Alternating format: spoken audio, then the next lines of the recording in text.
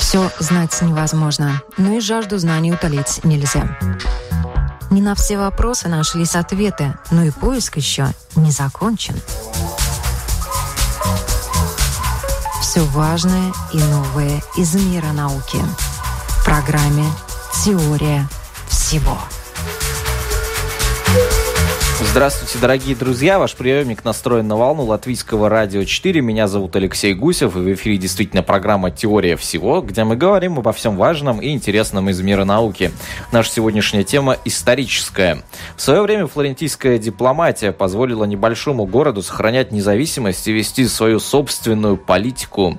О дипломатии малых стран Южной Европы, как прообразе современной дипломатии, мы сегодня в нашей программе говорим, и поможет разобраться в этом вопросе гости нам историк международных отношений Алексей Терещенко. Добрый день, Алексей. Здравствуйте. Рад вас видеть в нашей студии. Это возможность есть и у слушателей. На сайте lr4.lv идет видеотрансляция. Присоединяйтесь. Там же на lr4.lv можно задать и вопрос нашему гостю. Вот. А у меня, как правило, в программе «Теория всего», перед тем, как к более подробному разговору перейти, есть такая штука «10 вопросов на да нет», своеобразный блиц.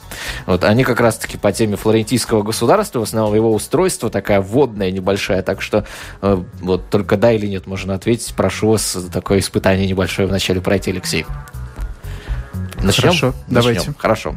Э, элементы самоуправления в городах э, Тосканы, в том числе и во Флоренции, появились еще со времен империи Карла Великого. Да. А бурный рост морской сухопутной торговли в XI веке привел, привел к ускорению развития городов и превращению их в действительно крупную политическую силу. Да. Расцвет Флорентийской республики приходится на XIV век нашей эры. Да. Почти да. Более или менее, да. А, республике характерно широкое участие населения в госуправлении. Да. А, также там существовало широкое избирательное право. Да. А, высшим исполнительным органом республики была коллегия шести приоров, которые представляли старшие цехи могут быть разные мнения, кто там был самый главный, но можно сказать и так, да. Опять почти да. Почти да. А, к середине XIV века Флоренция превратилась в ведущий финансовый центр Европы. Да. Банковские дома Флоренции кредитовали ведущие европейские государства. Да. Город-государство присоединил к себе также и другие близлежащие территории. Да. А, бюджетный доход формировался во многом за счет торговых пошлин. Да. Что ж, благодарю вас. Э, первая часть у нас в основном с позитивным результатом преодолена. Напоминаю, историк международных отношений Алексей Терещенко. И действительно, я начало нашего разговора так поставил, чтобы какие-то координаты слушателям задать, потому что, ну, не очень хорошо представляешь, что это за южные города-государства. И в первую очередь, самое главное из них это действительно Флоренция, не так ли? Ну, один из главных. Скажем так, в Италии было очень много городов-государств, которые э, с той или иной степенью успешности развивались. Но им в любом случае повезло. Э, в Италии не было э, крупного какого-то правителя, который бы все эти города э, регулярно грабил и обирал, как это было в других странах Европы.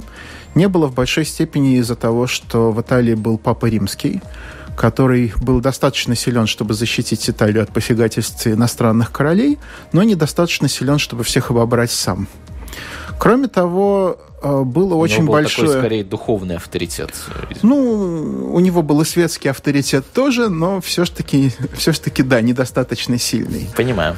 То есть вот э, была борьба между папой и императором за влияние в Италии, ну и поскольку эта борьба очень долгое время, как бы они, они оспаривали оспаривали влияние в Италии, города могли этим пользоваться, вставать то на сторону одного, то на сторону другого. Затем очень много сохранилось э, от Римской империи, которая была все-таки, она находилась во многом на более высоком уровне развития, чем средневековая Европа, и нигде как бы не сохранилось старых так скажем, производственных мощностей столько, сколько в Италии. Можно было этим пользоваться. Ну и, наконец, Италия очень выгодно находилась на пересечении торговых путей – Все это привело к тому, что в XIII веке итальянские города были наиболее богатыми вообще государствами в Европе. Они аккумулировали богатство всей Европы. Они развили самое передовое производство, в первую очередь тканей и металлических изделий. А, они разве, они вели международную торговлю между Западом, Востоком, Севером, Югом. И э, потихоньку в 13-14 веке э, итальянские государства начали укрупняться. Если в начале это была бесконечная мозаика очень большого количества городов, постепенно среди них э, появились лидеры. И э, в начале 15 века уже было очевидно, что лидеров пять. На севере Венеция и Милан, на юге Рим и Неаполь, и между ними Флоренция. И Италии очень повезло, потому что в течение какого-то времени все ее соседи были заняты своими делами.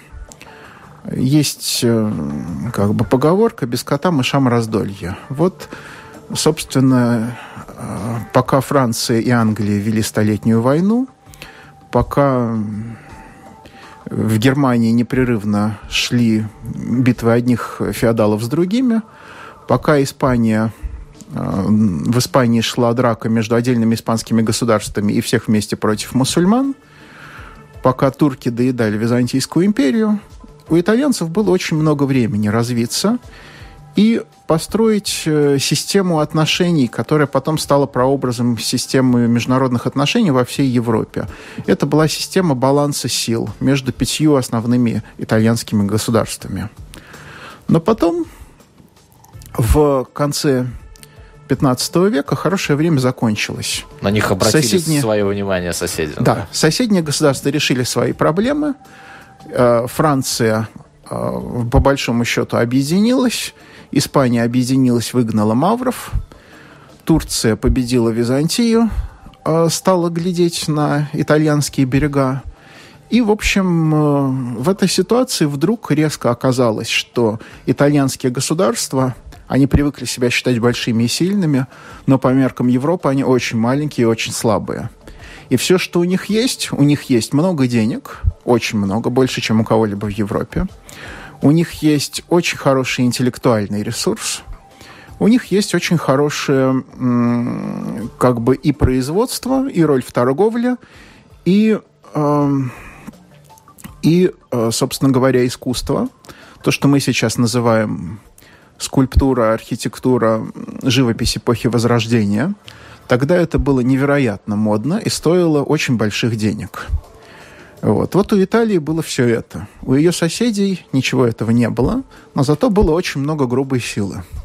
И вот чтобы эту грубую силу как-то обуздать, здесь, собственно, какая-то начинает применяться дипломатические возможности этих стран, я да, понимаю. Да. Ну, собственно, дипломатия существует столько, сколько существует государство. Да, что же этой... нового принесли именно государство Италии? Но в этой ситуации э, дипломатия поднялась на новый уровень возникло, в первую очередь возникло такое привычное нам явление, как постоянное посольство. До определенной эпохи все посольства были чрезвычайными. Это были посольства, чтобы договориться о заключении какого-нибудь договора, либо чтобы просто поздравить, скажем, короля с вошествием на престол. Ну, это не комиссия просто вот от, отправилась, погостила в соседнем государстве и отправилась обратно. Само собой. А просто э, как бы нам, нам сейчас кажется вполне естественным, что вот э, в Латвии постоянно живут послы более ста государств, наверное, примерно так, да. Но очень долгое время это естественным не было. Во-первых, просто не было денег содержать своих послов за границей в течение постоянного времени.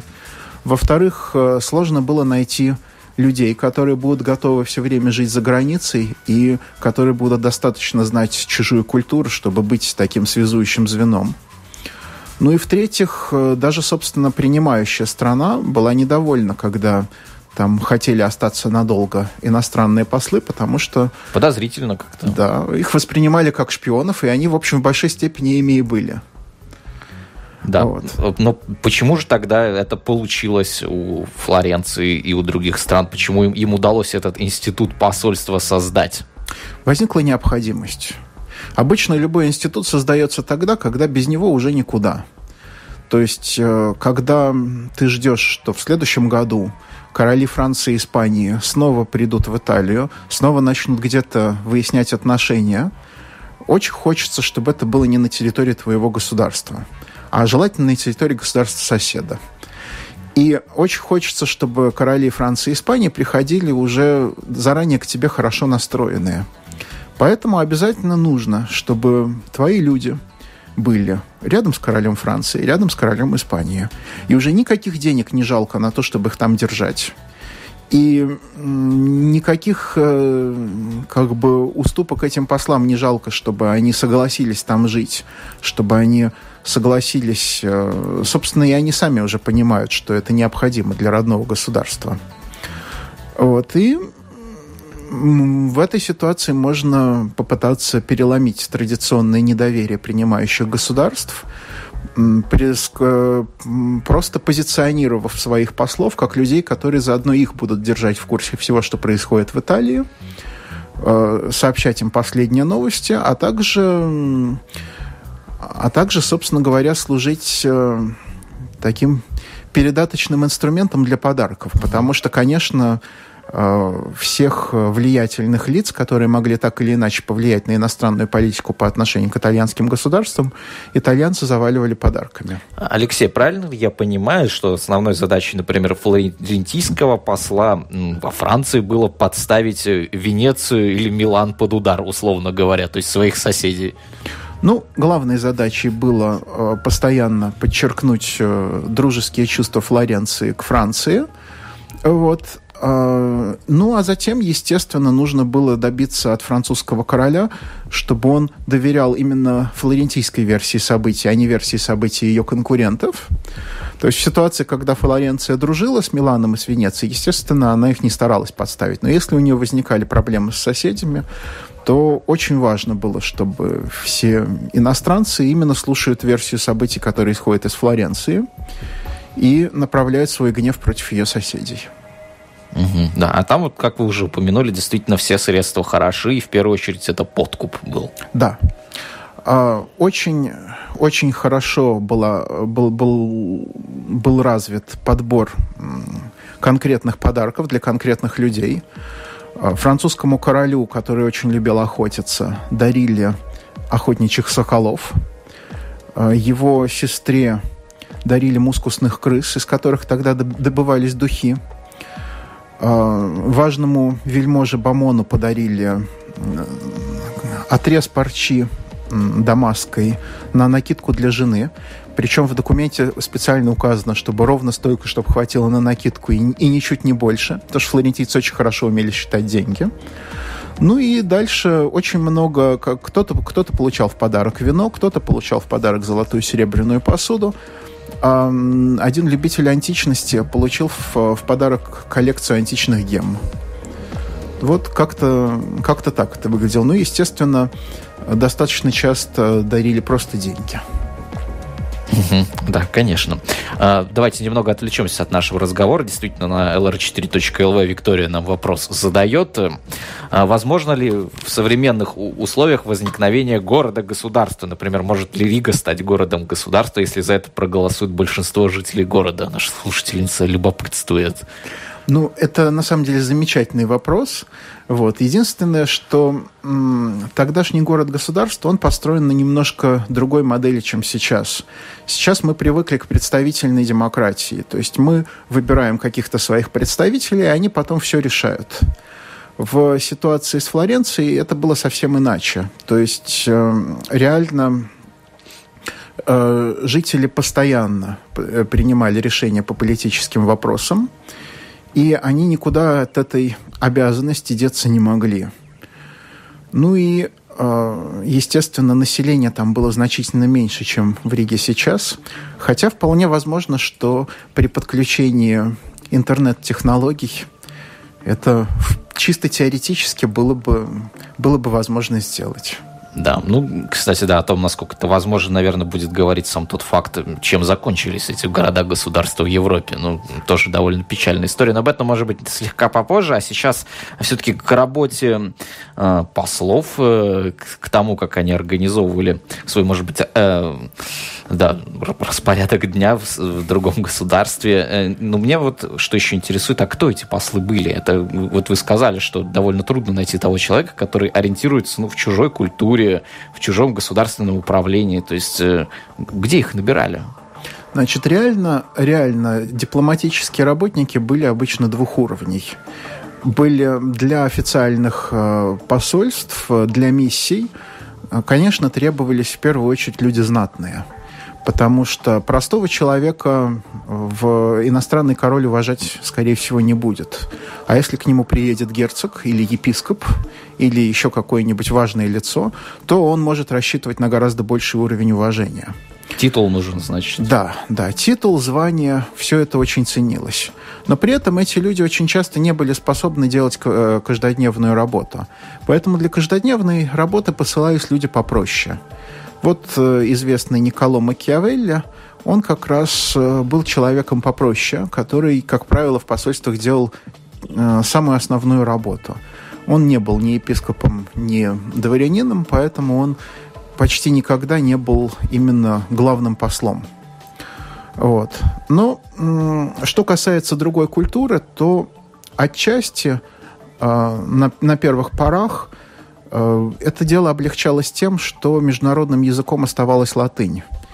И, э, конечно, очень многие латынью владели хорошо. В первую очередь это касалось юристов или людей церкви.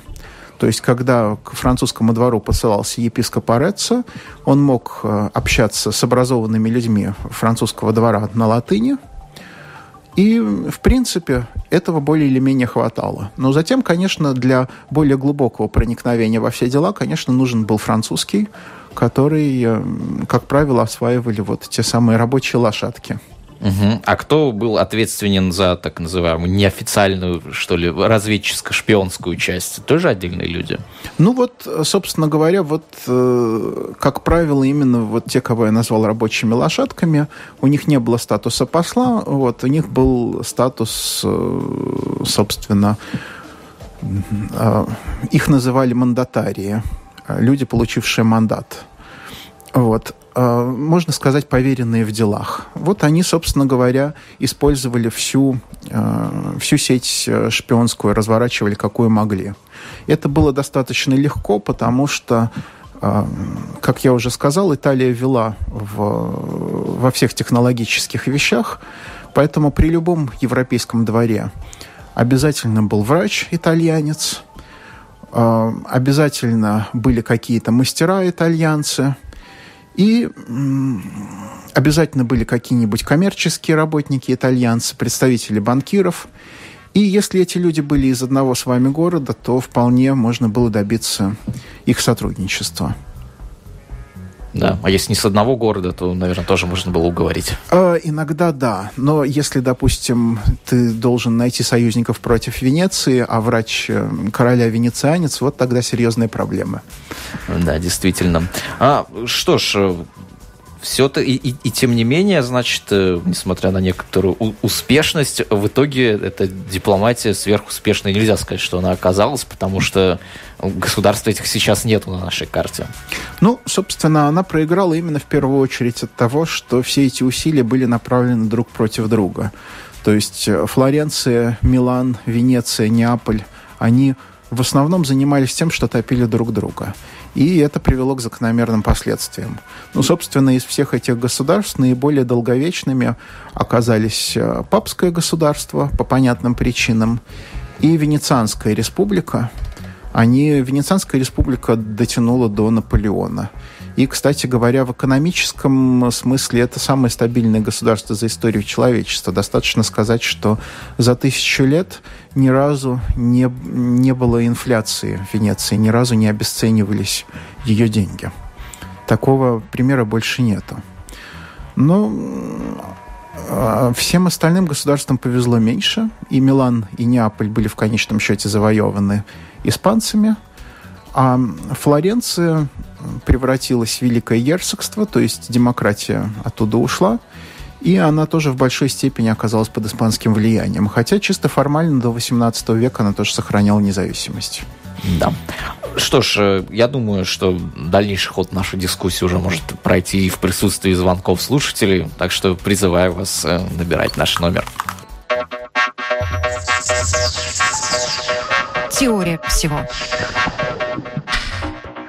Напоминаю, что историк международных отношений Алексей Терещенко в гостях программы «Теория всего». Говорим мы о э, дипломатии стран Южной Европы в средние века, эпоху Возрождения, наверное, где-то это временной промежуток. Наш телефон 672274440. Ваши вопросы наш гость готов выслушать и, возможно, даже дать ответ. Добрый день. Добрый день, Алексей Алексей, Виктор. Ну что ж, что касается дипломатии, совершенно очевидно. Цели и задачи сегодняшних, всех без исключения представительств, те же самые. Несколько изменились методы и средства, а принципы работы те же самые. Угу. Спасибо, спасибо большое. Ну, Хорошо, понятно. Да, я, вот, наверное, тоже об этих параллелях мы хотели поговорить. И, ну, прям так говорить, что те же самые, наверное, не совсем верно, но то, что вот, действительно и наши современные диплом, представительства тоже разведку наводят здесь, проводят, это ни для кого не секрет. Само собой. Но мне кажется, что изменились декларируемые цели, то есть реально государства ведут себя примерно так же, но они по-другому это объясняют. То есть вот э, в эпоху Возрождения самой правильной целью считалось вести войну против турок, потому что турки неверные, турки враги христианства, поэтому любой союз, против кого бы он ни предназначался, он всегда объявлялся союзом против турок, даже если на деле он туркам был выгоден. Вот точно так же сейчас все борются за демократию. Это такая легитимная цель современности, за демократию, за права человека. Да, за которые можно ставить уже другие, может быть, не столь легитимные цели. Да. А, что ж, 672274440, давайте еще один звонок примем. Добрый день. Добрый день. Да, прошу вас. У меня такой вопрос к уважаемым гостям.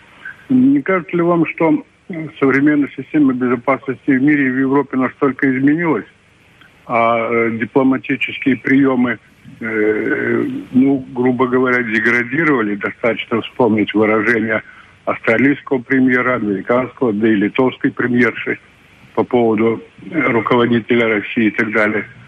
И в последнее время идут также разговоры о пересмотре Хельсинских соглашений. То есть, э, на ваш взгляд, каковы перспективы э, выработки новых, новых систем управления мировой системой и в Европе в частности. Спасибо за ваш вопрос. Все-таки современную тематику у нас э, всех клонит. Наверное, все-таки вы имели в виду президента Литвы, насколько я за последними событиями тоже слежу ее высказывания. Но, тем не менее.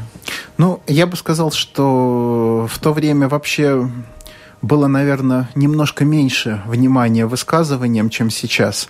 Просто потому, что не было средств массовой информации, которые мгновенно все подхватывали и все тиражировали. На самом деле говорить могли не такое, наверное, как сейчас. Говорили, да, говорили и не такое. То есть, э, в общем, бывала и площадная брань, вот, после чего послы могли объяснить, что нет, на самом деле государь имел в виду совсем другое. Вот. Но что касается выработки механизмов, то вот как показывает практика той же самой дипломатии XVI века, когда возникает жесткая необходимость, то механизмы вырабатываются, просто когда у людей нет другого выбора. Угу. Ну да, кстати, говоря о том, что можно было использовать, а что нельзя, вы вот упомянули в нашем разговоре перед эфиром, что очень много переписки прочли. У нее же тоже, наверное, есть э, своя кодификация, свое дозволенное, недозволенное в этой дипломатической переписке того времени. Естественно. Э, ну вот опять же, тут как, как и с деятельностью послов были официальные письма, в которых, в общем-то, предписано было все. То есть, как сложилось, э, сначала, сначала нужно поприветствовать так, потом поприветствовать так, потом добавить такие несколько слов, потом такие несколько слов. Там все очень четко и очень, э, очень жестко выработали, выработался регламент, причем он выработался сам, никто его специально не вырабатывал. Но э, было также, были также и неформальные письма, которые, когда дипломат просто излагал все, что ему удалось узнать, все, что он услышал, все, что ему рассказали, и там уже особый этикет не, не уважался. Главное было поделиться с родным правительством как можно большим количеством информации. Четко и по сути, как все, все своими именами называлось. Да, да, да. Ну да, ну, наверное, конечно, если такая переписка была бы кем-то перехвачена, это тоже отдельный скандал могло бы вызвать. Такие случаи были? Да, такие случаи были, поэтому был, было разработано очень много шифров, которые все это дело маскировали. Потому что тот же дипломат, прибывая к двору французского короля, допустим, он очень подробно э, живописал, как, на что похож король, на что похожи его вельможи. И, естественно, если бы такая переписка попала в руки французов, это могло бы вызвать очень большие проблемы. Угу. То есть, на самом деле, развитие дипломатии – это еще и развитие криптографии одновременно. Конечно. А, ну, и, ну, наверное, сейчас уже, вот тоже с сегодняшним днем, наверное, сейчас все-таки по-другому шифруют. Или вот насколько вам известно? Я, честно говоря, достаточно плохо осведомлен в, в делах, в таких, скажем так, в подводных камнях современной дипломатии. Вот. Mm-hmm. Мне кажется, что сейчас э,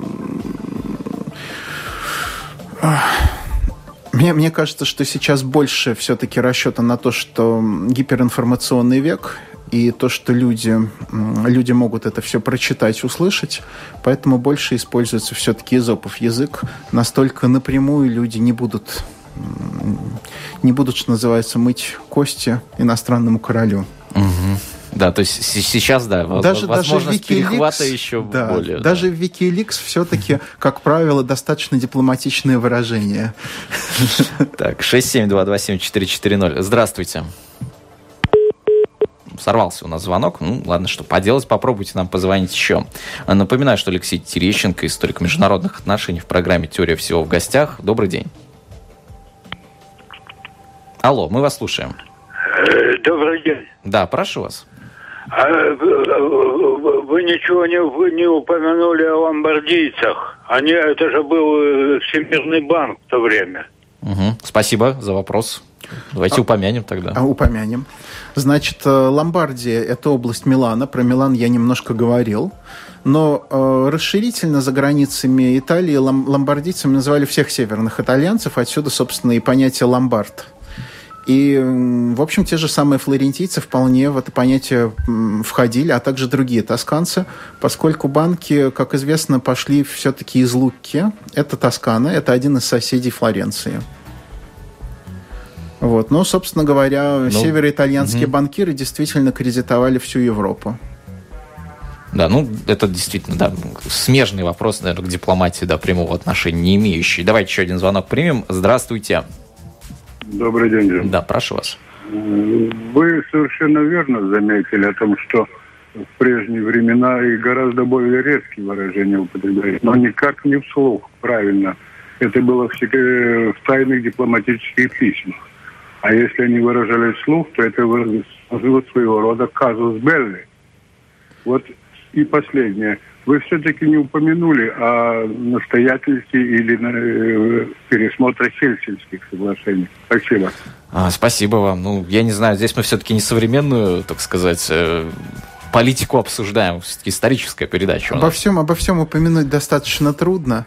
Вот. Что касается казус Белли, ну, для этого нужно, чтобы у, у человека было желание и возможность напасть, а оно было далеко не у всех. Тот же самый французский король мог чистить э, Флоренцию последними словами. Флоренция ему не объявляла войну. Наоборот, пытался его после этого заверить в том, что она белая и пушистая, и короля обижать не хочет. А... Тоже человек там, наверное, ну да, правитель сталкивался с ограниченностью своих ресурсов. То есть можно было, наверное, да, напасть на один из этих городов, но не на все сразу. Ну, естественно, естественно. Ну и как-то была, была все-таки определенная политика. То есть ясно, что можно, можно кого-то спровоцировать на нападение, вот, как это не раз в истории было. Но если кто-то на тебя совсем не хочет нападать, ты его все равно не спровоцируешь, чтобы ты про него не говорил. Вот. Хорошо. Что, что касается Хельсинских соглашений, да, это действительно немножко выходит из темы. Да, наверное, не сегодня давайте о Хельсинских соглашениях, а сегодня, может быть, э, вот вы упомянули, что действительно э, впервые в истории появилась постоянная дипломатическая миссия. И это то, что мы, мы взяли, у нас теперь посольство мы видим повсеместно. Что-то еще мы переняли с тех времен относительно дипломатии? Я думаю, что сам э, принцип э, регулярных, э, то, что, то, что пос, как бы все, все принципы работы вот этих регулярных посольств, то есть то, что, то, что посол обязательно как бы собирает информацию, то, что сейчас, в принципе, можно дипломатически назвать мониторингом. Вот. То, что посол регулярно пишет э, домой, регулярно получает письма, вот, э, и то, что то, что он э, пишет подробный отчет по окончанию своей миссии, то есть все подобные вот технические моменты. Э, ну и, собственно говоря, сама отправка миссии, то, что посол получает обязательно верительные грамоты, то, что он получает инструкции, вот, вот все эти моменты, которые пришли вместе с постоянными посольствами, мне кажется, что они в большой степени сохраняют свою актуальность и сейчас. Угу. Что ж, ну, я благодарю вас. Э, напоминаю, историк международных отношений Алексей Терещенко сегодня был в эфире программы «Теория всего», и говорили мы о дипломатии малых стран Южной Европы как прообразе современной дипломатии. Спасибо вам. Спасибо. А, программа «Теория всего» прощается с вами на неделю. Встретимся в следующий вторник. Меня зовут Алексей Гусев. Всем всего доброго. Всего доброго.